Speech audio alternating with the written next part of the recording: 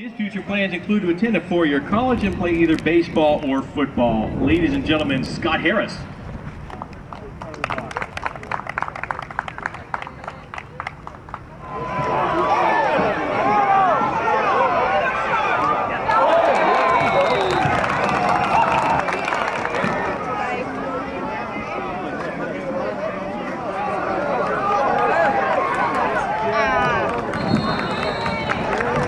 Hand off to Scott Harris.